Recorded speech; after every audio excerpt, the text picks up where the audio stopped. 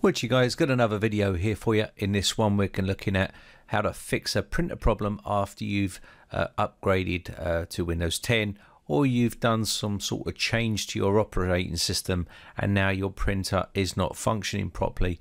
Now what we're going to do here is show you how you can try to resolve this issue and this can happen to uh, Canon printers, HP printers, uh, you know, Epson, any sort of printer you've got you can use these same methods okay? So let's go down to the start button here. Now normally most printers will have a utility in here. Canon has one called Canon inkjet printer utility. Open this up and then you can go to IE apps user manual or support. We're going to click on support and this will open up a browser and take you to their page. You can now choose the location you live in in Europe for me and we're going to go down to United Kingdom and uh, this just takes you to the United Kingdom and now we need to go to support.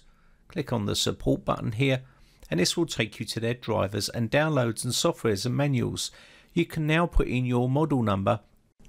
Mine is uh, MG6851 so you're going to need to put that uh, number inside here and this will show you a list of uh, model numbers. Now sometimes printers change very slightly and you may have uh, for instance, MG 6800 or MG 6851. You just have to make sure you get the right model. Okay, so you can see there's been a few changes here uh, 6851, 6852, very, very slight changes. So select the one that you've got and you can get access here for the firmware, apps, manuals, software and drivers. Select the operating system uh, that you're using now, if, if Windows 10 is not listed here and your printer's old, then you want to select the latest version, which will be i.e. Windows 8 or 8.1, and hopefully that will work out for you. Now you can see this has given us the full driver pack and software pack all in this one download. So I'm going to click on the accept and download and this will then start to download that to uh, my computer. So just leave the browser open and let that download okay.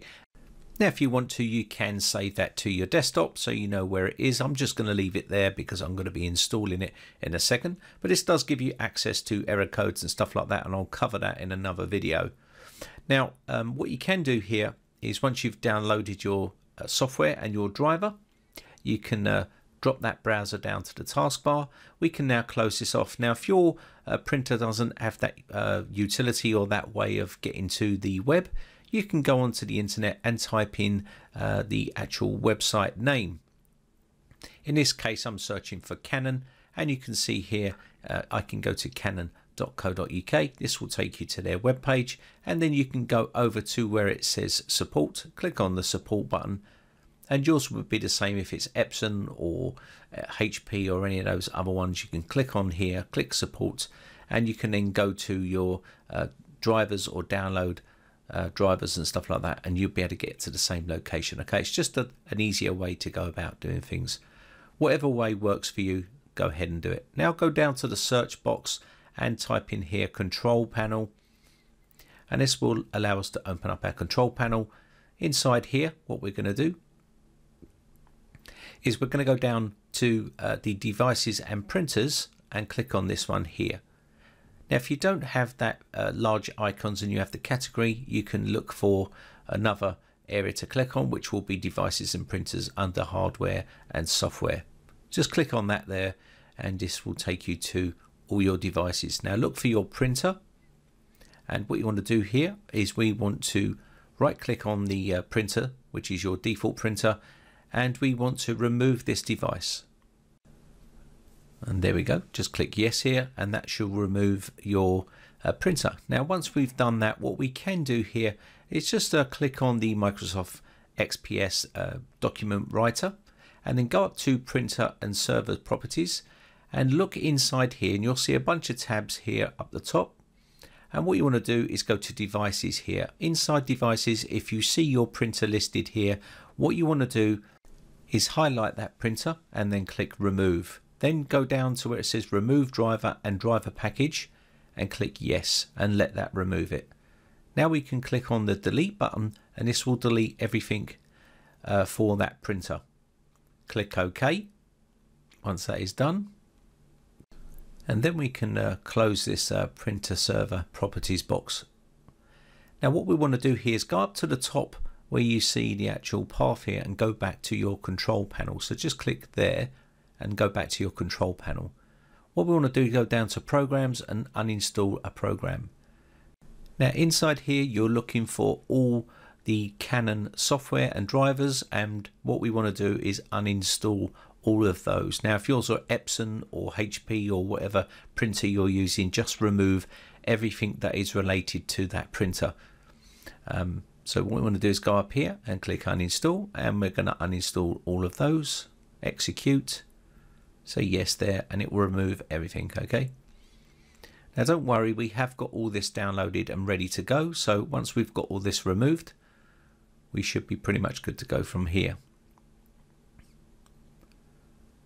So just continue uh, removing everything and it'll ask you, do you want to completely remove all the drivers and software? Just say yes click OK. I'm even removing the manual because we'll get a new copy of all that stuff. Just one more item to remove. There we go.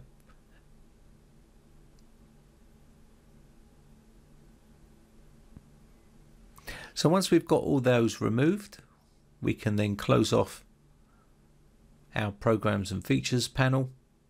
And now you want to turn off your printer and remove the USB cable from your printer. Now we can go back to our browser where we downloaded our driver and software package and click on that and start to install it. There we go. It's starting to install. Now once we get to this stage we can now click on uh, start setup.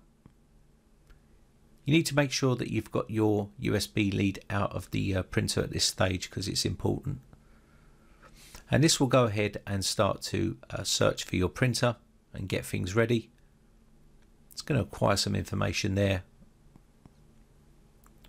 And just uh, let this run and it will take a bit of time. So just be patient and let that finish its job.